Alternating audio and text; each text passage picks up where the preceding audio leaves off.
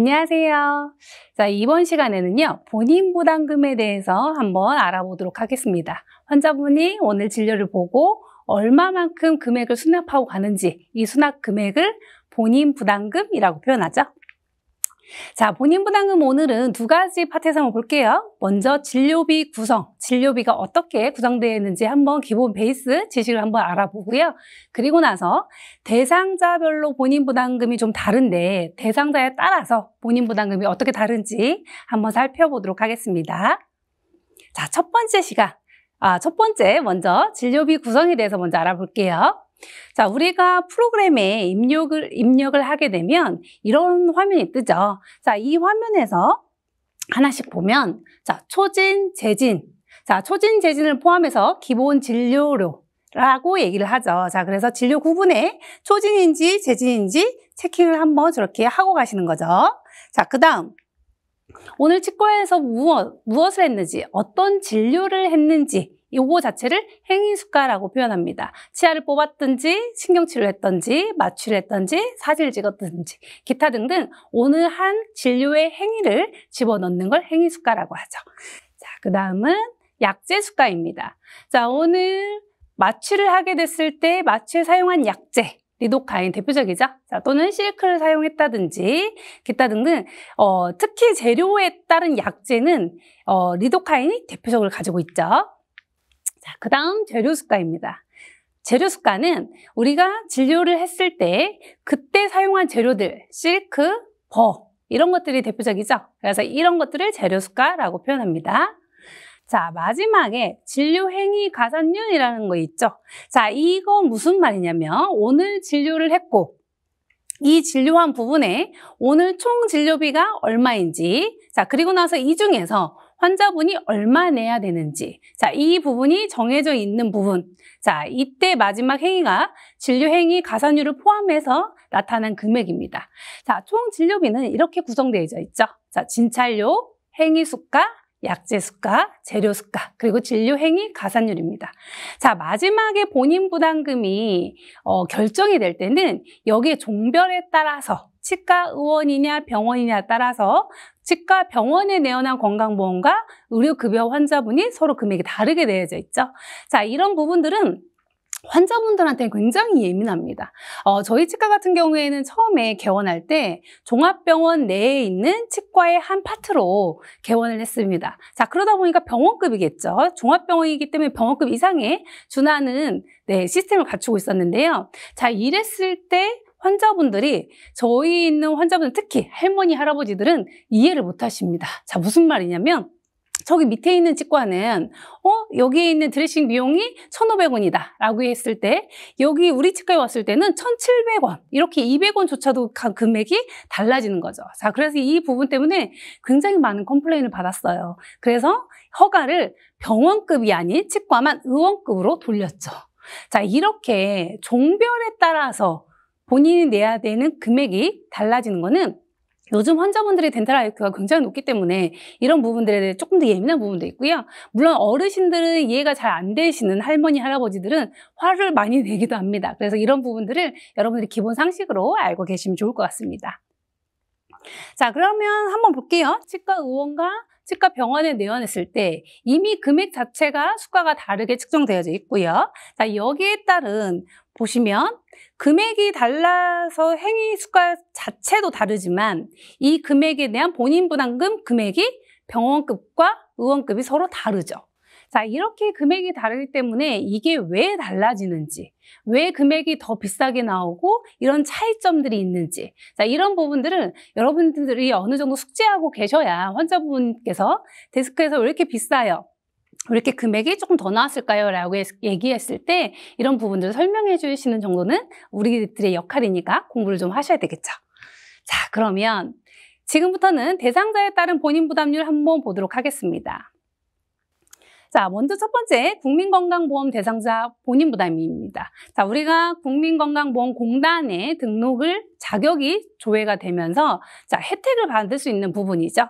자, 여기에서 독특한 건 치과 의원과 병원. 자, 앞에서 제가 말씀드렸듯이 종별에 따라서 네, 퍼센테이지가 다르다는 걸 알고 계셔야 됩니다.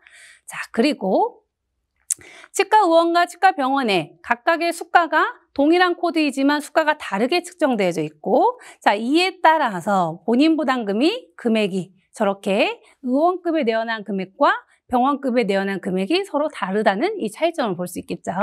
자, 다음은 연령에 따라 다른 이야기입니다. 자, 연령에 따라서 만 1세, 6세 또는 6에서 65세. 자, 요 사이, 65세 미만. 자, 요 사이의 나이 연령대를 한번 볼게요. 자, 이 연령대는 나이가 어디에 해당되느냐에 따라서 적용하는 이 가산율이 다릅니다. 자, 그러다 보니까 자, 5세 환자의 어, 건강보험 환자분이 내원했을 때와 자, 40세 남자가 내원했을 때 다른 금액을 가지고 있죠. 자, 만 5세 건강보험에 있는 자, 환자는 만 5세이기 때문에 21%를 적용해서 자, 똑같이 GI 즉처를 했다 하더라도 9,400원의 금액을 내고 있습니다. 하지만 40세에 있는 남자는 30%를 가산을 하기 때문에 자 여기에 있는 똑같은 즉처를 했다 하더라도 11,000원에 대한 금액이 달라지고 있죠.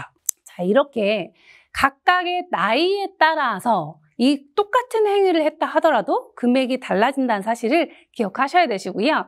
항상 이 나이에 따라서 금액이 환산되는 거는 저희들이 외우고 있지는 않아도 돼요. 물론 시험을 본다거나 병원 사무 관리사 시험을 본다든지 보험 청구에 관련된 공부를 좀 더 하겠다라고 했을 때는 이 이론상의 내용을 반드시 외우시고 숙지하셔야 됩니다. 하지만 프로그램상에서는 환자분의 수신자 조회를 먼저 하시고 환자분의 수신자 조회에 맞게 나이가 뜨면 그 나이에 따라서 자동으로 프로그램에서 변환이 되니까요. 그 금액을 안내해 드리면 되겠죠. 자, 다음은 임산부입니다. 자, 임신부라고 표현하죠. 자, 임신부라는 거는 밑에 제가 코멘트 달아놨어요. 자, 임신이 확인된 이후 임신이 유지되고 있는 어, 사람, 이 사람이 임신부라고 하고요. 이 안에는 유산이나 사산으로 인해서 외래 진료를 받는 사람까지 포함을 한다 라고 네, 제가 코멘트 달아놨습니다. 자, 임신부가 내원했다. 자, 임신부가 초기 특히 1개월에서 한 3개월 됐을 때 배가 나왔는지 모르죠. 그죠? 자, 그래서 보통은 임산부에 관련된 수첩을 가져오는 사람들도 있고요. 본인이 증명할 수 있는 뭔가 수첩을 가지고 오시면 그 부분에 가지고 여러분들이 수동으로 체킹을 하셔야 됩니다. 자, 공단에 있는 이 임산부를 등록했다라는 다른 데이터는 없어요. 그렇기 때문에 반드시 임신부라는 걸 확인할 수 있는 자료를 가져오시고 이 자료를 근거로 해서 프로그램에 입력하실 때, 자, 이 부분에, 자, 기타 자격 중에 임산, 임산부, 요 칸에 체크를 하시는 방법이 있고요. 자, 또는 특정 기호란에 F15라는 네, 이 코드를 입력하셔도 됩니다. 자, 프로그램에 보시면 보험 부분 밑에 기타 자격 저렇게 임신부 있죠? 자, 이 부분에 체크박스를 저렇게 하셔도 되시고요. 자, 아니면 특정 기호에 F015라는 특정 기호를 클릭하셔도 괜찮습니다. 자, 둘 중에 어떤 방법을 해도 상관이 없고요. 어, 조금 더 편하게 쓰시는 방법은 당연히 저 임신부라는 체크박스에 체크하는 게 좀 더 편하긴 하겠죠. 자, 건강보험 환자분이 내원했을 때 금액과 자, 임신부가 내원했을 때 금액. 자, 똑같이 연일에 스케일링을 했을 때 금액이 달라지는 것을 볼 수 있습니다. 자, 보시면, 어, 일반 건강보험 대상자는 16,700원 정도. 그죠? 연일에 했을 때. 자, 그런데 임신부는 더 많이 경감이 돼서, 자, 5,500원의 본인 부담을 가지고 있죠. 자, 그래서 본인 부담금에 대한 혜택을 더 많이 주고 있는 이유는 출산에 대한 장려, 여러 가지 국책사학으로 같이 묶여져 있는 부분이 없지 않아 있을 거예요. 자, 그래서 임신부에게 이런 혜택들이 있다는 것도 여러분들 아시면 좋을 것 같아요. 자, 다음은 만 65세 이상. 자, 65세 이상의 내용에서는요. 자, 이렇게 총진료비가 얼마냐에 따라서 요 금액이 달라지죠. 1,500원 아니면 뭐 10% 20% 이런 식으로 가산되는 이 본인 부담률이 다릅니다. 그래서 이 부분들을 한 번 더 보시면요. 자, 총 진료비가 똑같이 이 환자분이 그 65세 이상인데 오늘 진료를 했던 행위 중에서 이 사람의 본인 부담금의 이 칸에 있는 총 진료비가 15,000원일 때 이때는 15,000원이면 1,500원 정도 되고요. 자, 여기에서 이 금액에 있는 3만 원 이상이 되면 금액의 수가가 달라지죠. 자, 그래서 9,500원이 된대요. 그래서 이런 차이점을 볼 수 있고요. 자, 다음은 조사나 또는 저체중 본인 부담금의 연령입니다. 자, 이 조사나나 저체중 아이들에게 조금 더 본인 부담금을 인하시켜서 낮추어서 대상 연령을 조금 더 확대하고 있는 부분이에요. 자, 그래서 기존에는 원래 10% 정도 내고 있었던 부분이에요. 여기 보시면 현행에 지금 10% 냈던 것들이 지금은 5% 이하로 인하가 됐습니다. 자, 그렇기 때문에 조금 더 혜택을 볼 수 있는 부분이 있는 거죠. 자, 이때 조사나 체크를 하는 경우에는요. 자, 우리가 아까 임신부 체크하듯이 기타 부분에 보시면 자, 기타 자격에 조사나라는 부분이 있습니다. 이 부분을 클릭하시면 자, 이렇게 환자 등록 번호가 떠요. 자, 조사나는 조사나에 관련된 등록 번호가 반드시 있을 거예요. 그래서 그 부분을 같이 입력을 하신 다음에 적용을 하시면 됩니다. 자, 이세의 똑같은 아이, 이 아이지만 건강보험에 관련된 아이가 왔을 때는 이 아이의 본인 부담금이 자 21%가 적용돼서 4,500원이지만 자 조사나일 경우에는 5%만 적용되기 때문에 1,000원이 되는 거죠. 자, 그래서 어떠한 혜택을 가지고 있냐는 이 기타 자격이 무엇이냐에 따라서 좀 더 달라진다는 사실도 보시면 좋을 것 같습니다. 자, 다음은 의료급여 제도예요. 자, 의료급여 제도는 아마 우리 그때 첫 주에 공부를 좀 했었죠. 어, 환자분이 뭔가에 이제 경제적으로 좀더 많이 어려운 부분 때문에 국가에서 조금 더 도움을 많이 주는 부분이죠. 개인의 질병이랄지 부상, 출산, 자, 기타 의료 서비스에 조금 더 많은 혜택을 주고 있는 제도가 의료급여 제도라고 우리가 그때 공부 한번 했었어요. 자, 의료급여 제도에는 두 가지 종류가 있었죠. 자, 등급이 조금 더 많이 어려운 분들을 일종 수급권자, 그리고 일종보다는 조금 더 그래도 생활력이 조금 더 있는 분들은 이종 수급자에서 분류를 두 분류로 나눠져 있어서 각각의 지원하는 혜택이 조금씩 다르죠. 자, 일종 수급권자에서는 본인 부담금을 한번 볼게요. 자, 이 본인 부담률 표를 보실 때, 자, 중요한 거는요, 첫 번째. 자, 의원급과 병원급 당연히 종별 다르다는 걸 알고 계셔야 되시고, 자, 보는 방법. 첫 번째, 오늘 환자분이 내원하셔서 원해 처방을 했느냐, 안 했느냐에 따라서 이 쫓아가는 라인선이 다릅니다. 그죠? 자, 만약에 오늘 신경치료하고 오늘 아무것도 안 했다. 약이 처방이 나가지 않았다 라고 하시면 원해 처방 X로 따라가시면 되시고요. 자 오늘 발치를 해서 약 처방을 나갔다. 그러면 원해 처방 O 칸으로 따라 내려가시면 됩니다. 자 그래서 첫 번째 기준 처방전을 어, 내렸는지 처방전이 나갔는지 안 나갔는지 한 번 더 체킹하시는 게 첫 번째. 자 그리고 나서 처방전이 나가지 않았다라고 한 경우에 다시 두 분류로 나눕니다. 자 여기서 의약품은 리도카인이 대표적이에요. 자 치과에서 사용하고 있는 리도카인을 사용했느냐 사용하지 않았느냐의 차이를 보시면 돼요. 자 오늘 신경치료를 하시면서 자, 환자분한테 신경치료 첫날이어서 마취를 시행했습니다. 자 이때 의원급의 내원했을 경우에는 얼마인가요? 그러면 이 표를 따라가시면 1,500원이 나오죠. 자, 이렇게 이 표를 보는 방법이 중요해요. 그래서 첫 번째 보는 방법 잘 아셔야 되는 거고요. 자, 물론 의료급여 본인 부담금 우리가 외울 필요는 없어요. 외울 필요는 없지만 공부하실 때 특히 어, 건강보험에 관련된 병원, 사, 병원 사무관리사 자격증을 취득할 때는 반드시 이 부분이 꼭 아셔야 되는 부분이어서 기본 베이스로 공식처럼 수학 공식처럼 꼭 외워두셔야 되는 부분이라는 거 기억하셔야 됩니다. 자, 의료급여에는 조금 더 많은 혜택을 주는데 그 중에도 특수 장비 촬영, 자, 이 부분에 대해서도 본인 부담, 본인 부담금을 조금 더 인하해서 낮추고 있죠. 그래서 본인 부담금에 대한 저렴한 비용으로 네, 혜택을 받을 수 있도록 보고 있고요. 임신부 또한 마찬가지입니다. 임신부도 특수 장비 촬영에 있는 금액이 달라지고 있죠. 자, 특수 장비 촬영에 대한 각각의 대상자별로 한번 볼게요. 자, 똑같이 콤빔 시트를 촬영했습니다. 자, 이랬을 때, 자, 달라지는 게 의료급여의 일종 같은 경우에는 의료급여 일종은 5%이기 때문에 여기 보면 3,600원이 뜹니다. 그죠? 자, 근데 이종은 15%이기 때문에 8,800원이 뜨네요. 자, 임신, 임산부의 1, 2종은 5%이기 때문에 여기 보면 3,600원이 뜨네요. 그죠? 자, 이렇게 각각 다르게 뜬다라는 거예요. 금액이 내가 어떠한 자격 조건을 가지고 있느냐. 자, 기타 자격에 따라서 이런 부분들이 조금 더 혜택을 주고 있는 부분들이 있다라고 보시면 좋을 것 같습니다. 자, 그 다음. 다음은 이 의료급여 대상자의 본인 부담금이라는 게 자, 완전 본인 부담금이 완전 면제인 자들이 있어요. 특히 의료급여 대상자의 앞에서 제가 1종과 2종 이 두 가지 구분을 한다고 했죠. 자, 특히 1종에서는요. 당연하게 본인 부담금을 면제하는 네, 대상자들이 있습니다. 자, 보시면 우리 아마 예전에 한번 간단히 보셨을 거예요.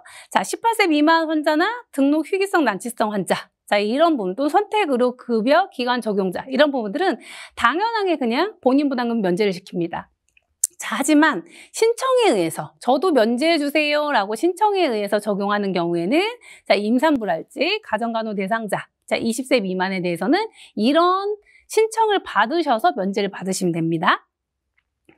자, 선택 의료 급여 기관 이용자라는 게 있어요. 자, 이게 무슨 말이냐면, 자, 지정한 병원, 내가 예를 들어서 만성 질환으로 인해서 제가 내과나 어떠한 종합병원에 계속 병원을 다니고 있습니다. 그 병원에서 그 다른 치과나 한의원을 지정을 해 주시는 거예요. 자, 주치의 제도처럼 지정을 해 주시면 본인 부담금이 면제됩니다. 자, 보통은 1차적으로 한 기관을 선택하게 되어져 있고요. 추가적으로 한 곳이 더 추가가 가능합니다. 총 두 곳까지 가능하죠. 자, 통상적으로는 한 곳을 가장 많이 어, 지정을 해서 본인 부담금을 조금 더 면제를 받는 제도라고 보시면 될 것 같아요.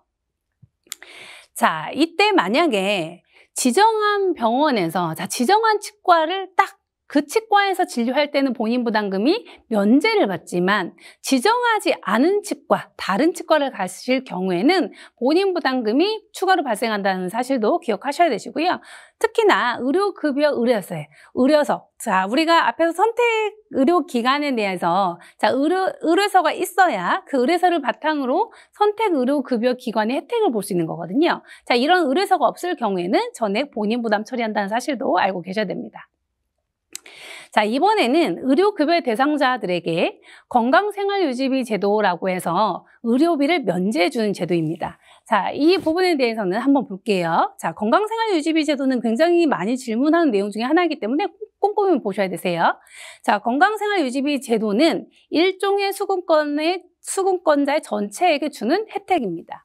자, 이분들은 1인당 6천원을 지급하고요. 자, 6천원을 환자분께 드리, 직접 드리는 게 아니라 건강보험공단에 가상계좌에 매월 1월에 입금합니다. 자, 가상 계좌에 입금을 해주시는 거예요. 자, 이선옥이라는 가상 계좌에 매월 6천원을 네, 입금을 해주신 다음에 이 병원에 갔을 때 이 금액에서 차감이 되는 거죠. 자, 이 건강, 건강생활유지비는요, 환자분의 수신자 조회를 해보시면 이 칸에 자, 건강생활유지비 6천원이라고 해서 이렇게 자격을 조회했을 때 바로 뜹니다. 자, 그래서 이 부분에서 알 수 있는 부분이 있고요. 자, 그러면 본인 부담금을 납부할 때는 환자분의 본인 부담금이 금액이 뜨면 일단 건강생활 유지비 아까 6천 원 있었던 거를 먼저 차감을 시키고요. 이 차감을 그 금액을 다 썼다라고 하시면 본인이 일부를 부담하기도 합니다. 자, 그래서 일단 원칙은 건강생활 유지비가 있다라고 하면 금액이 6천 원, 5천 원, 3천 원 이렇게 금액이 남아 있다라고 하시면 반드시 먼저 차감을 하고 환자분께 수납을 받지 않습니다.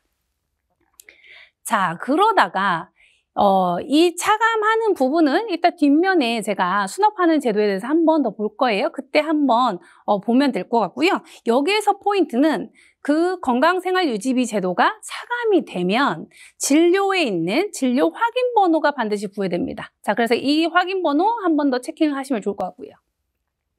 자, 환자분의 의료급여 일종에 있는 내용입니다. 자, 오늘 전학 스캐닝을 하셨어요. 자, 그리고 나서 수납 버튼을 요 환자분을 쫙 누르시려고 하면 저렇게 건강생활유지비 청구액이라는 요 부분이 떠 있죠. 자, 오늘 진료를 했고 이 첫 원을 차감시키는 거예요.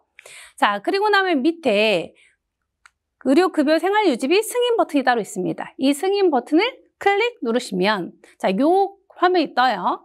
자, 그러면 아까 제가 말씀드렸죠. 승인을 뜨게 되면, 승인을 받게 되면 뭐가 따른다? 진료 확인 번호가 따라온다. 자, 이렇게 해서 번호가 자동으로 부여됩니다. 자, 이 승인을 받은 거와 받지 않은 모습이 남아져 있죠. 자, 그래서 오늘 만약에 승인 번, 승인을 잘 받았다. 진료 확인 번호가 이렇게 잘 뜨고 있고요. 진료비 잔액이 1,000원을 오늘 차감해서 6,000원 중에 1,000원을 차감했기 때문에 나머지 청구액은 5,000원이 남아있는 상태입니다. 자, 이런 2호 제도. 이렇게 본인 부담금이 조금 더 어, 할인을 받을 수 있는 부분 중에 하나인 거예요. 누구한테? 의료급여 제도. 특히 일종 수급권자한테 지금 해당하고 있는 내용 중에 하나입니다. 자, 그래서 승인이 잘 됐다라고 하시면 수납창에 이렇게 가운데 있는 건강생활 유지비 승인 금액 이렇게 해서 잔액이 얼마 남았습니다라는 코멘트가 떠요. 그래서 이 부분을 확인하시면 되십니다. 자, 건강생활 유지비 제도가 아까 제가 6,000원이라고 했죠. 자, 그런데 이 6,000원을 만약에 다 사용하지 않았다. 자, 한 달에 매달 6,000원이에요. 이 그리고 나서 1년 동안 남아있는 금액이 있다라고 하시면 이 남아있는 금액을 지급을 하죠. 자, 이 지급 기준은 1년 거를 기준 잔액을 확정한 다음에 보장기관에 통보를 합니다. 건강보험공단에서 보장기관에 통보를 하면 수급권자의 이선옥의 계좌에 현찰로 이렇게 입금을 해주는 거예요. 통장으로. 자, 이번에는 가상계좌가 아니라 이선옥이라는 통장에 바로 입금이 되는 거죠. 자, 그래서 돈으로 뽑아줄 수 있는 그런 캐시로 되는 거죠. 자, 차상위 제도입니다. 이번에는 의료급여보다 조금 더 수입은 있긴 해요. 자, 그렇지만 생활이 굉장히 곤란해서 도와줄 수 있는 사각지대에 있는 음, 사람들을 도와줄 수 있는 방법 중에 하나죠. 자, 대부분 가장 많이 힘들어하는 부분이 이렇게 난치성 질환, 희귀 난치성 굉장히 많아요. 또는 만성 질환을 겪고 있는 사람들. 자, 이분들한테 조금 더 병원비랄지 기타 등등 이런 부분에 조금 더 혜택을 주고 있는 제도, 이걸 차상위 제도라고 하죠. 자, 이런 사람들 또한 희귀성, 난치성 이렇게 등록이 되어 있는 환자들은요. 본인 부담금을 조금 더 저렴하게 인정해주고 있습니다. 자, 이것 또한 환자분의 수신자 조회를 해보시면 이 대상에 아 차상위 제도에 해당하는 대상자구나라고 이렇게 뜹니다. 그래서 요 수신자 조회를 해서 확인할 수 있는 부분이 있고요. 자, 차상위 제도의 그 금액은 저렇게 본인 부담금이 자, 차상위 1종이냐, 2종이냐 각각에 나눠져 있습니다. 그래서 이 표를 한 번 더 참고해서 보시면 되시고요. 자, 프로그램에 한번 입력을 해보시면 환자분의 수신 조회를 해보시잖아요. 그러면 여기처럼 2종, 장애, 8종 이렇게 해서 이 보험 구분에 뜰 거예요. 자동으로 떠요. 왜냐면 수신자 조회를 했기 때문에. 자, 그리고 나서 환자분의 수납금을 보면 250원. 자, 표에 있는 것처럼 250원을 받을 수 있도록 이렇게 딱 뜨는 거죠. 자, 이런 분들이 바로 차상위 제도에 있는 대상자구나 라고 보시면 좋을 것 같습니다. 자, 다음은 구강 검진이에요. 자, 구강 검진은 공단에서 시행하고 있는 검진이 있고 학교에서 시행하는 검진이 있죠. 자, 공단에서 시행하는 검진은 반드시 아셔야 될 거, 오늘 진료 당일날 같이 진료와 함께 했을 경우에는 진찰료, 소재진이 50% 반값으로 다운된다는 것 또는 30일 이내에 오셨을 때도 재진의 50%로 반값으로 다운되죠. 자, 환자분을 직접 입력을 해보시면 프로그램에 자 우리가 보통 건강보험 대상자들은 이렇게 초진으로 해서 15,490원이 뜹니다. 하지만 자 검진 초, 구강검진 초로 하면 이렇게 반값으로 7,750원으로 뜨게 되고 자 이에 따라서 본인 부담금 또한 역시 달라지죠. 자, 일반 건강보험 대상자는 16,000원이 뜨겠지만 자, 검진 초로 누르신 요 환자분은 본인 부담금이 14,000원으로 다운됩니다. 자, 그래서 본인 부담금이 달라지는 경우에요. 자, 저희 치과에서 환수 요청이 있었던 사례 중에 공문을 좀 보여드리면 자, 요 아까처럼 검진을 하신 분들이에요. 이 검진을 하신 분들에 대해서 자, 초진, 재진의 아까처럼 검진초 검진제 이렇게 눌렀어야 되는데 그냥 초진, 그냥 재진을 눌렀기 때문에 환수 요청이 된 사건입니다. 자, 2017년도 진료, 진료를 했던 부분이 삭감이 됐는데 언제 통보가 왔어요? 여기 보면 2017년도 거를 2019년도에 다시 통보가 옵니다. 자, 이렇게 검진은 오늘 끝났다고, 청구를 오늘 했다고 해서 아니면 저번 달에 청구를 잘 했는데 조정이 되지 않았다고 해서 끝난 게 아니에요. 반드시 공단이나 심평원에서는 다시 한번 계속 이렇게 반복해서 혹시 누락돼 보험을 찾아내기 때문에 조금 더 꼼꼼하게 청구를 하셔야 될 것 같습니다. 자, 이번 시간에는 본인 부담금에 대해서 한번 알아보았습니다. 자, 우리가 본인 부담금, 머릿속에 계산하면 좀 어렵죠. 하지만 프로그램에 입력하시면 수신자 조회를 잘 하시면 환자분의 본인 부담금은 자동으로 잘 계산이 될 거예요. 자, 이번 시간에도 도움이 되셨길 바랍니다. 감사합니다.